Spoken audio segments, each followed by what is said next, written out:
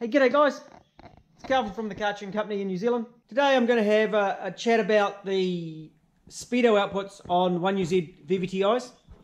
It's a problem that I see quite a bit of, uh, not just on the 1UZ, but on the JZs as well, with the computers of the similar era, around that, uh, about 97 onwards.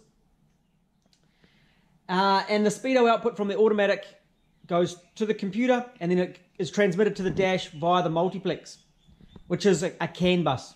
If you do a Google on CAN, uh, Communication Area Network, you'll, you'll find out about that.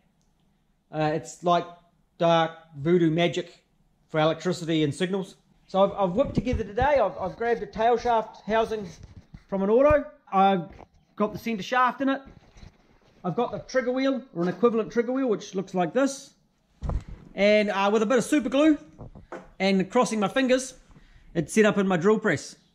I just happened to have a VVTI sitting on the stand, just convenient really, that happened to still have the rear speed sensor wiring in it. I didn't even plan that, that, that was just how it worked out. I've got a Speedo here, that's out of an early 2000s Hilux. So with this in the drill press, it allows me to generate a speed signal without starting this noisy engine because the old ears get a bit sore at times.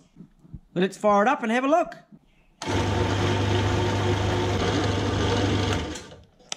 And that's then generating signal that's coming to my ECU, which allows me to make that work.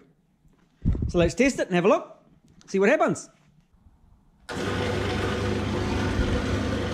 there we have it.